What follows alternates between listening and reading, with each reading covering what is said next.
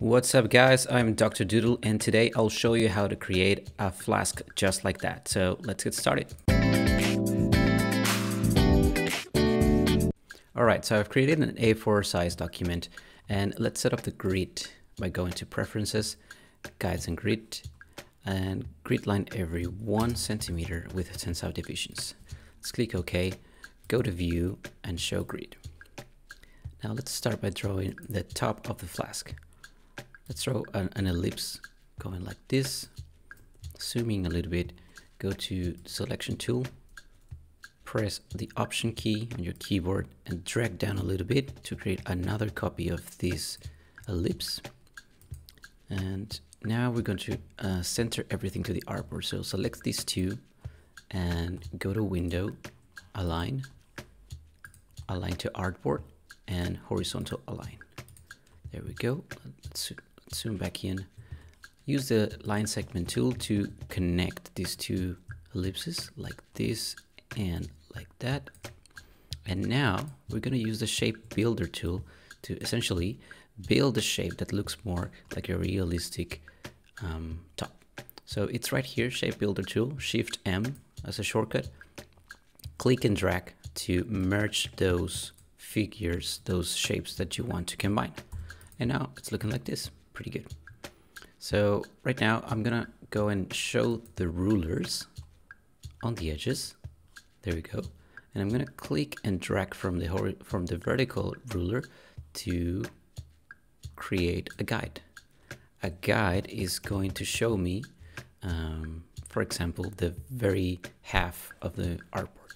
And now I can go on and draw the body of the flask.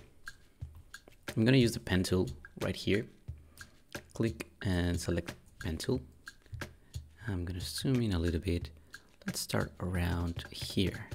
Let's go a few few subdivisions inside and then just let's go there. Let's just click there, open up to the characteristical shape of the Erlenmeyer flask. Uh, somewhere around there and see what it looks like.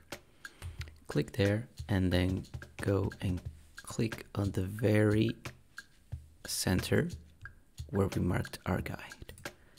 Now I'm just gonna press escape to stop the pen tool and I'm gonna press V to go to our direction tool.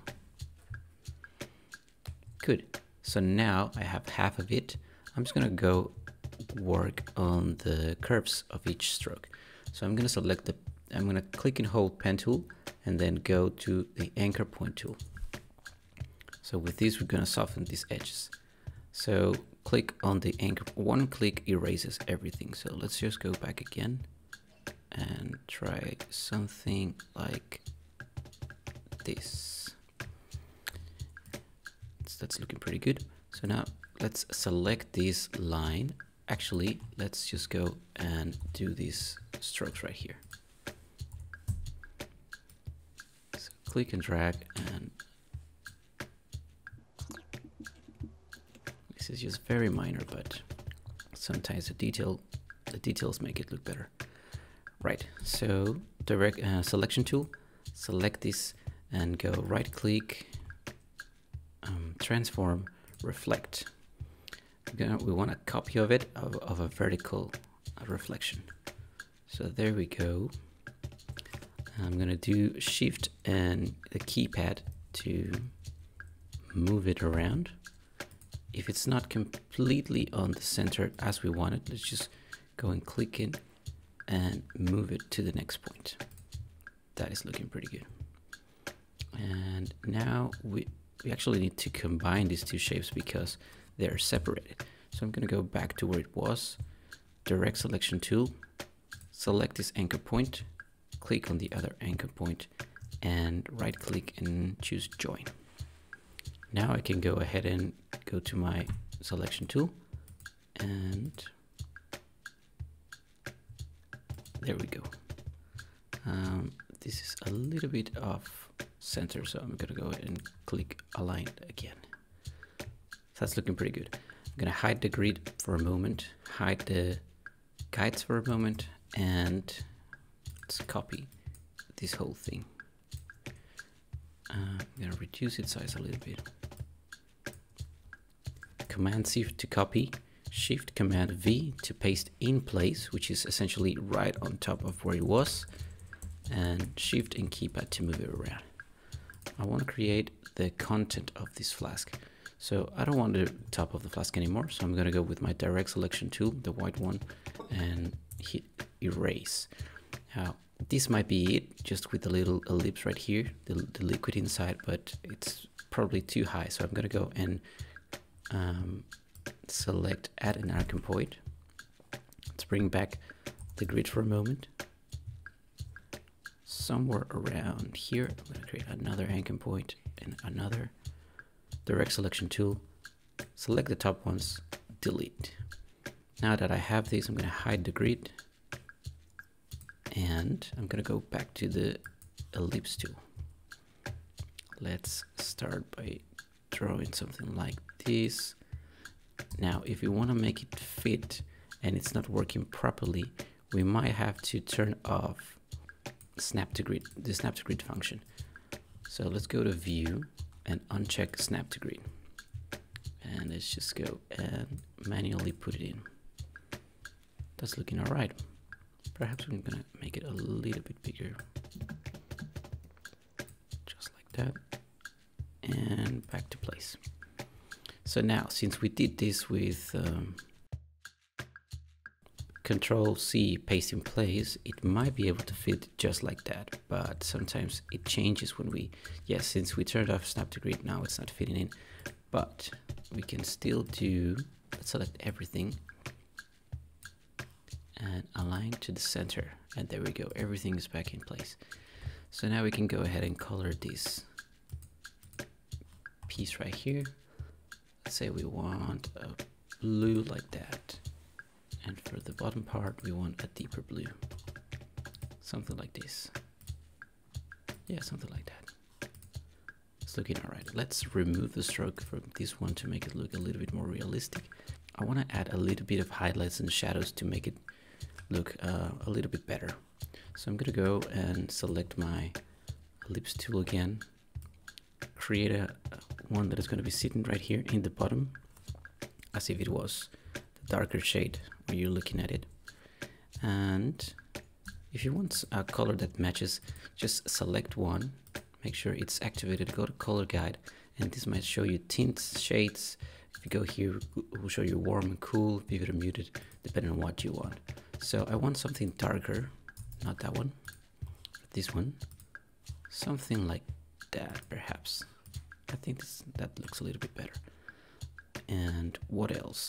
Now let's uh, create another layer to keep things neat. Uh, let's go with the, the line segment tool as before, and let's create a, a scale, a graduation for, for this flask. There we go, no color selected. Let's go with white, round cap, round corner, and let's go with the pen tool again. Unselect this pen tool, this pen tool, and let's create the edges of the of the scale from the outside into the the new line.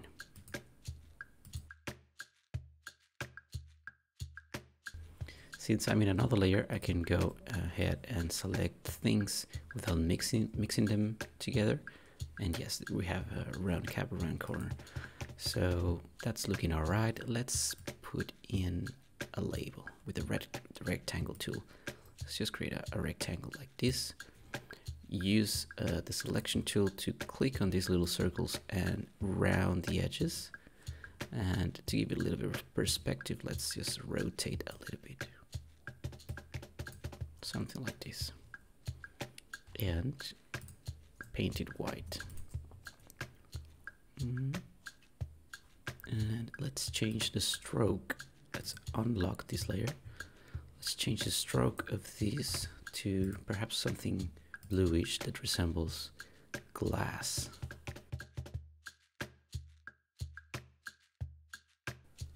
And finally I feel like uh, I might add a little bit of text. Let's say this is a 500 ml flask. Escape to modify it. Let's go to white stroke. White color and let's just move it, rotate it a little bit for perspective. That's looking all right. Finally, I'm gonna lock these two layers, create a new layer to add a highlight. Since it's glass, it might shine. So let's select every, uh, let's, let's have a clear view of the whole thing. And we're gonna use a brush to do this. So let's go to window and select brushes. These are different sizes, so I'm gonna go with the biggest one and select the brush tool. So there we go. Perhaps I want to modify it. Double click on it. It's 15 points, so let's say I want 10 points. There we go. It reduced in size a little bit.